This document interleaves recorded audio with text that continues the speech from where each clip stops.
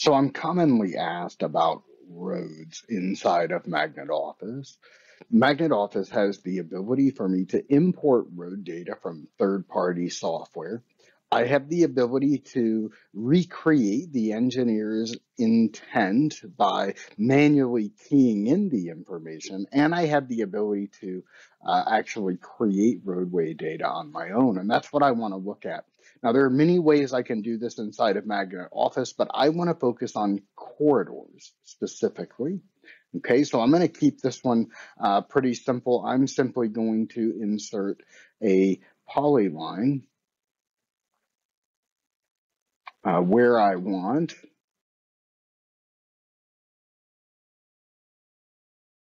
Now, the same would apply if I received the CAD file that had the polyline already drawn. Utilizing the corridor menu, I'm going to work left to right. I'm going to go to the corridor settings.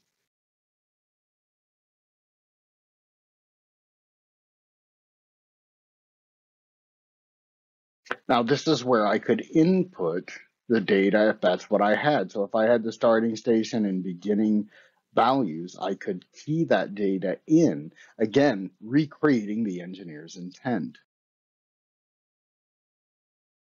In my case, I'm going to pick the line that was drawn. When I go to the vertical tab, I can see the vertical profile.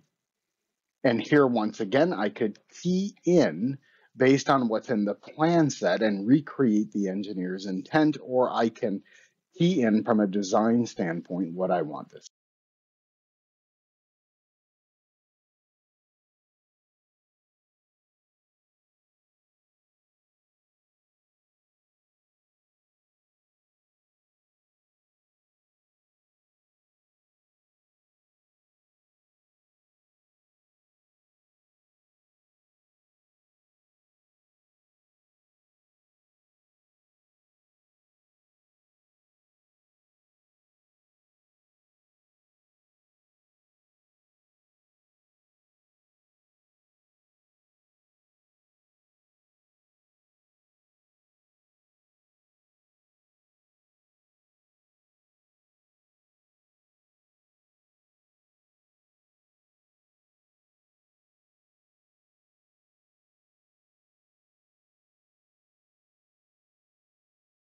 If I have vertical curve information, I can key in the vertical curve.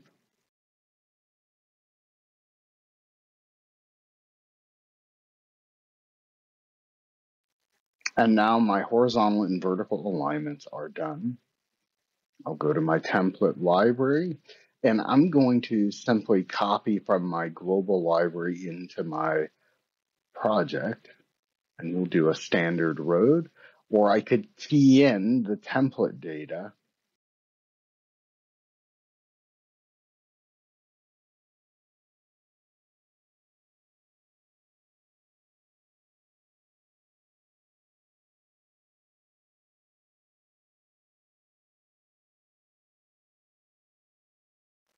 and then I can define where those templates are applied.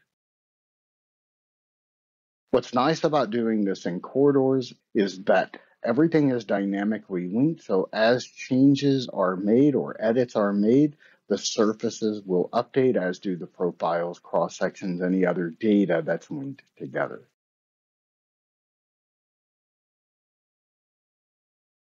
Now I can step through the cross sections.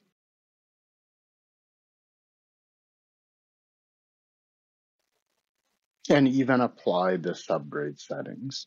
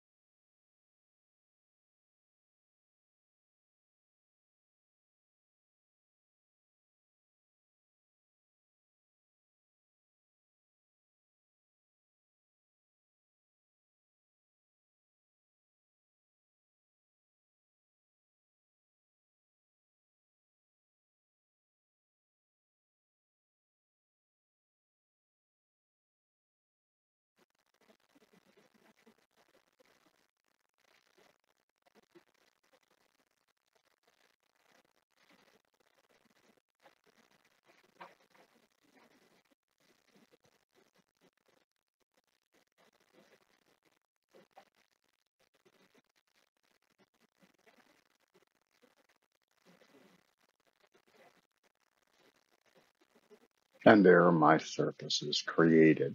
Now I can export those to TP3. I can send them to Magnet Field, to Pocket 3D, and begin to weigh that out. So Magnet Office has a lot of tools for, again, either importing the data from the engineer, Land XML file is a great example, or data that's contained within the DWG file if that's how I'm importing.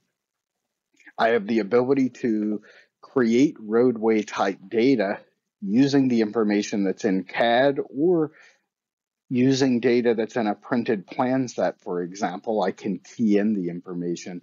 And I also have the ability to, um, to modify or create this data on the fly if I were doing design build. Maybe I just need to create an access road, for example. Everything can be dynamically linked. So again, if I modify, as I update, all of my surfaces update as well.